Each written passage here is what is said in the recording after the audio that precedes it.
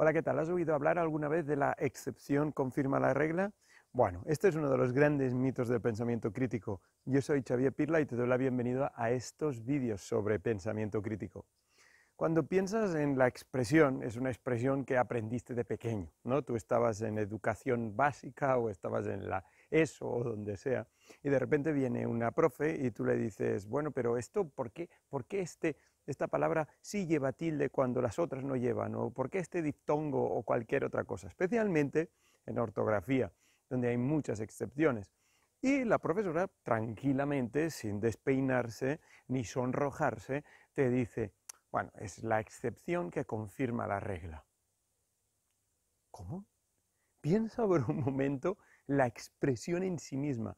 ¿Tú te das cuenta que es la, la, expresión más absurda de la historia y que cuando éramos pequeños nos tragábamos tranquilamente? Piénsalo, ¿cómo una excepción a algo puede confirmar una regla? Piénsalo de otra manera, ¿no? tú le dices, todos eh, los coches son de color rojo. Y de repente ves un, coche de color azul.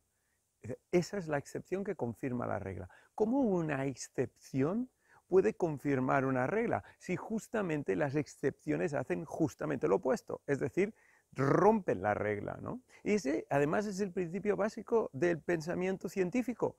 Es decir, hace muchos años, a principios del siglo XX, hubo un filósofo que se llamaba Karl Popper que nos dijo que el pensamiento científico se tendría que basar siempre en hipótesis. Es decir, yo genero una posibilidad, eh, hipótesis, una teoría de cómo funciona el mundo, y luego los científicos, en vez de intentar eh, confirmar eso, tendrían que buscar la manera de eh, rebatirla. ¿no? Fíjate lo que ha pasado con los agujeros negros. Muy bien, pues Einstein en su teoría de la relatividad nos dice que tienen que haber agujeros negros. Vale, ok, y, nadie encuentra uno, imagínate, ¿no? Y de repente dicen, bueno, eso es solamente el caso que confirma la regla. No, perdona, no, si no se encuentra un agujero negro, esa regla de momento no es válida. Eh, y por supuesto se ha encontrado un agujero negro y ahora sí es el ejemplo que confirma o le da más fuerza a la regla, ¿no? Eso es. Si alguien dice, según esta teoría, si la teoría es como yo creo que tiene que ser, tendría que pasar esto. Pero aquí también esto nos lleva a otro punto que veremos un poco más adelante en otro vídeo, pero que tiene que ver cómo nosotros, los seres humanos, hacemos generalizaciones de las cosas, ¿no? Claro, ahora resulta que si yo hago una teoría y en esa teoría se tendría que dar un caso y ese caso se da, ¿eso quiere decir que mi teoría es válida? No, no, no, no, no, no, no, claro que no. Fíjate, si yo creo, la teoría es la siguiente, ¿no? Yo creo que soy extremadamente simpático, que soy un tío súper enrollado, que soy mega carismático, todo lo que tú quieras. Y digo, si esta teoría es cierta, tendría que venir la gente a mí y decirme hola o buenos días o, lo que tú quieras, o qué guay que eres, me encantas, ¿no? Em, y eso pasa.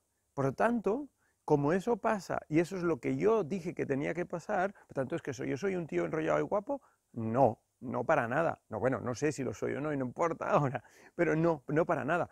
Podría ser cualquier otro motivo que llevara a la gente a decir eso. Igual yo les he pagado para que dijeran eso. O igual simplemente les doy pena, les, doy, eh, les genero tristeza cuando me ven, se apiadan de mí y vienen y me dicen, hola, ¿qué tal? ¿Cómo estás? Porque me ven solo, abandonado, sin amigos. Por tanto, un ejemplo tampoco puede confirmar una teoría. ¿La hace un poco más creíble o plausible? Venga, va, pues sí, pues sí, eso te lo compro. Pero ni los ejemplos pueden confirmar una regla. Por lo tanto, si los ejemplos de la regla no pueden confirmar una regla, ¿cómo lo va a hacer una excepción que es justamente lo opuesto? ¿no? de todos los pingüinos son blancos y negros. Venga, vale, perfecto. Y me encuentro 25 millones de pingüinos blancos y negros. Perfecto. Y de repente aparece uno que es blanco. Y tú dices, totalmente blanco. Y tú dices, es la excepción que confirma la regla. ¿Cómo? No, no, no, no. Si todos son blancos y negros y tú encuentras uno que es blanco, ya no todos son blancos y negros. Y además te puede entrar la duda. Si has encontrado uno blanco, ¿cuántos más pueden haber blancos? Luego ya no sabes poder cuantificar de esta manera tan universal, ¿verdad? Por lo tanto, eh, olvídate de ese gran mito que era el salvaprofesores ¿no? de, de la escuela. Y es la fantástica, maravillosa expresión la excepción confirma la regla. Eso es una tontería y no aguanta ningún tipo de pensamiento crítico. Las excepciones nunca confirman reglas, al contrario, se cargan reglas. Y los ejemplos pues hacen lo que pueden para sostener la regla. Al final las reglas son hipótesis, son teorías y nunca van a ser ciertas, aunque muchas personas es cierto que necesitan de algún modo ¿no? sentirse que tienen eh, la posesión de la descripción de las cosas. Bueno, pues, pues bien, pues está bien, eh, pero solo son modelos. Son modelos que, eh, gracias, por, por, suerte, sabemos que van cambiando con el tiempo y que de momento, pues si ahora nos sirven, está bien. Por lo tanto, acuérdate, la excepción nunca confirma la regla. Chao.